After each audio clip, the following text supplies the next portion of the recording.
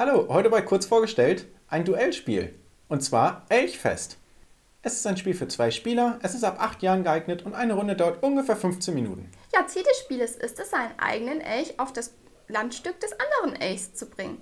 Dazu könnt ihr durch Schnippen die einzelnen Felsen hin und her bewegen, wodurch er dann von Fels zu Fels letztendlich auf das andere Landstück kommen sollte. Ja, der Platzbedarf bei dem Spiel ist relativ individuell, da man die Entfernung von den einzelnen Landstücken variieren kann. Das Spiel so gibt es leider nicht mehr im Laden zu kaufen, da könntet ihr Glück haben, dass ihr es dann durch einige Internetportale oder vielleicht sogar auf dem Flohmarkt erwerben könnt.